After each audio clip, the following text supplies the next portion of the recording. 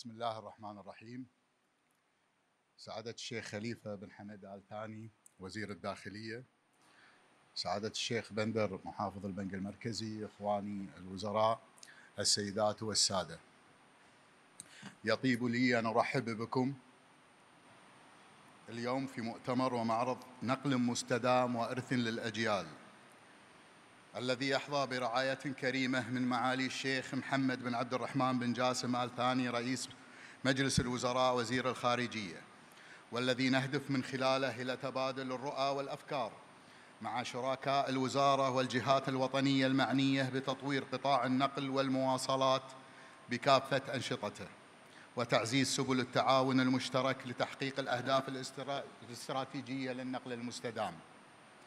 على مدار السنوات الماضية استثمرت دولة قطر في ظل القيادة الحكيمة لسيدي حضرة صاحب السمو الشيخ تميم بن حمد آل ثاني أمير البلاد المفدى حفظه الله ورعاه. في تطوير مشاريع البنية التحتية والخدمات المساندة لقطاع النقل والمواصلات. جهود نراها اليوم متوجهة بامتلاك دولة قطر لمنظومة نقل متكاملة ومترابطة ومستدامة وضعتها بمكانة رائدة على خارطة النقل العالمي ومشاركة خبراتها في هذا المجال مع العالم أجمع.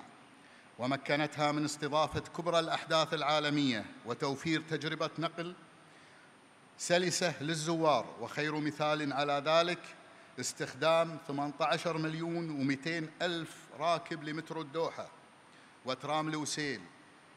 بالإضافة إلى استخدام أكثر من سبع, ملايين راكب لناقلات النقل العام خلال بطولة العالم 2022 تماشياً مع أهداف واستراتيجية قطر الوطنية للبيئة والتغيير المناخي وتحقيقا لرؤية القيادة الرشيدة وركائز رؤية قطر الوطنية 2030 تم توفير حلول نقل مبتكرة وصديقة للبيئة.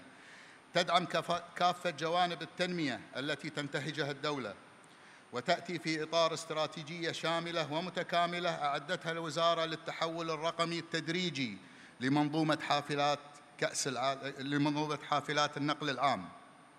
الكهربائية بنسبة 100% بحلول 2030 في نهاية العام الماضي تجاوزت نسبة التحول الكهربائي 25%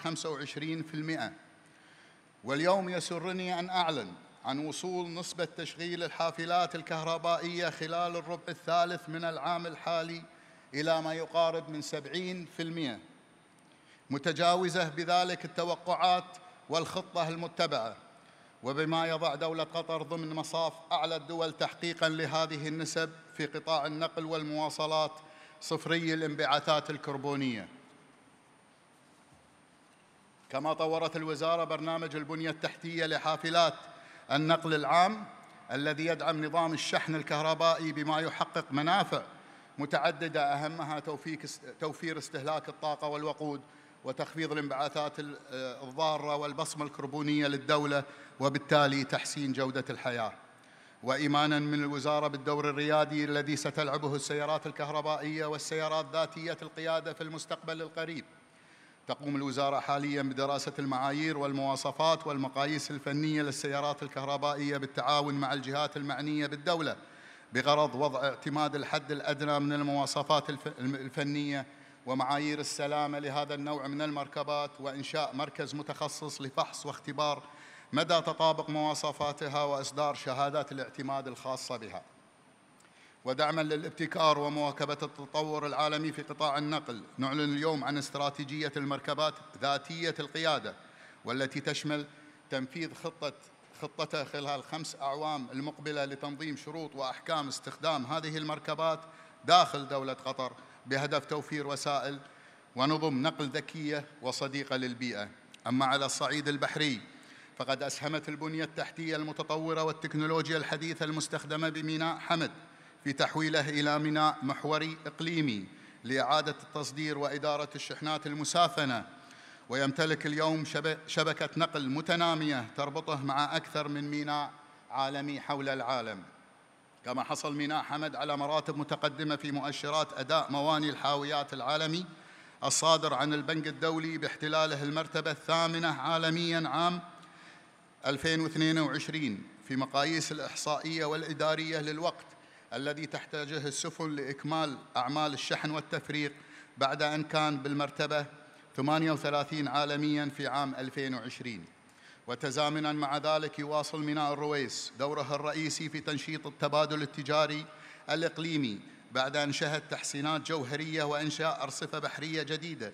ويجري العمل حالياً على إنجاز أعمال المرحلة الثالثة من الخطة التطويرية التي تشمل على تعميق وتوسيع القناة الملاحية والحوض البحري تماشيا مع استراتيجية الدولة الهادفة إلى رفع إمكانيات الميناء بما يواكب النمو في حركة السفن وعمليات التصدير والاستيراد.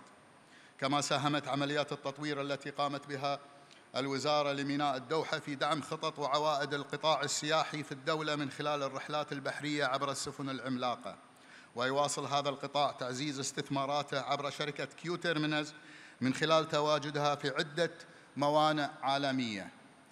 وفي قطاع الطيران المدني بذلت قطر جهودا كبيرة لتنمية هذا القطاع من خلال بناء وتنظيم وتطوير منظومة حديثة تتميز بخدمات عصرية متقدمة ظهرت نتائجها جلية خلال العمليات التشغيلية لبطولة العالم كأس العالم فيفا 2022 حيث سجلت حركة الطائرات في كل من مطاري حمد والدوحة الدوليين 26500 حركة جوية كما تم تشغيل رادار بعيد المدى ورادار المدى المتوسط الذي يدعمان إدارة دولة قطر الكاملة لإقليم الدوحة لمعلومات الطيران والذي يعد علامة فارقة في إدارة الأجواء.